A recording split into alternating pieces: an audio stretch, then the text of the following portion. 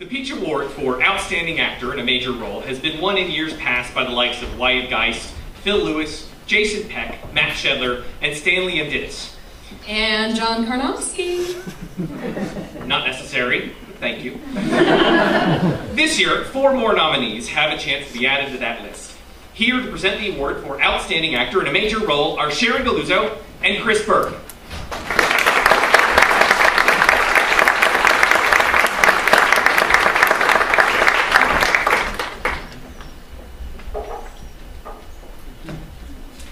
Chris, Chris, I have to talk to you.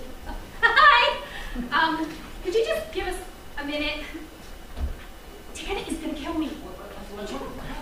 We are presenting the award for outstanding actor, right? Yeah, yeah. Well, I was just outside, and there were no actors standing there. they're, they're not outside. I looked everywhere. Oh, God, misplaced five row men. Dan's gonna kill me. The award is not for actors standing outside. It's for actors in major roles that were outstanding in their performances last season. Oh, so they're not outside. Uh, no. Then where are they? They're, they're right here. Oh. Our, our outstanding actor in a major role nominees played roles that run the gamut from well-loved to deservedly despised. Their performances took us to the heights of joy and the throes of terror. Each role entertained hundreds of Cary Players patrons in the style to which they're accustomed. Whether singing and dancing, jumping off bridges, conning blind women, conning blonde women, or lost people discover her power. These men delivered this delivered, and this nomination is recognition and gratitude for their hard work and achievement. The nominees for the Pietzsch Award for Outstanding Actor in a Major Role are Gus Allen, the lovable everyman George Bailey in It's a Wonderful Life,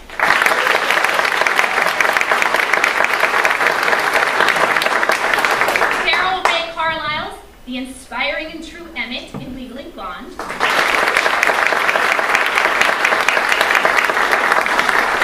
Larry Evans, the terrifying maniacal Roach in Wait Until Dark.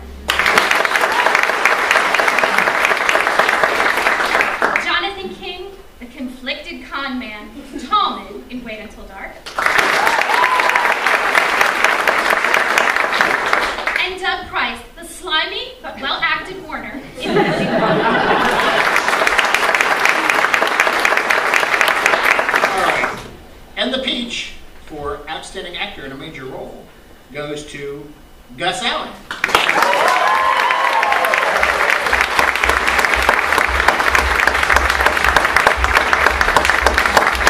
Chris, you lied to me. Gus is not here. I think he's standing somewhere. But we do have someone to accept the award for him. Welcome, Jeff. Good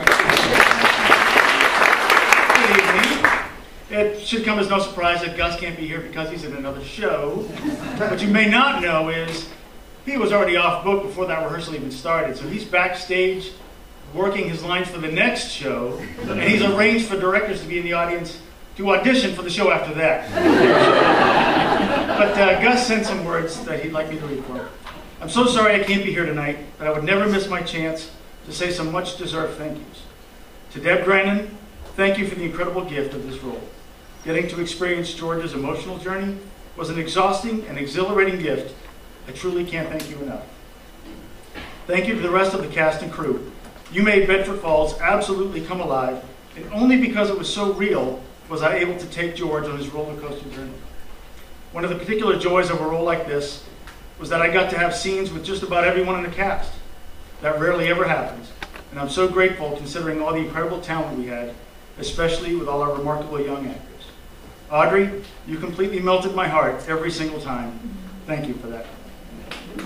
A special thank you to Deb and Hannah Cox for highlighting my six bajillion lines on the night I forgot my script at home. they were highlighting before and during the actual show, and I loved them for it. Dan Marchenko, I have admired you as a human being and a force for good for several years now.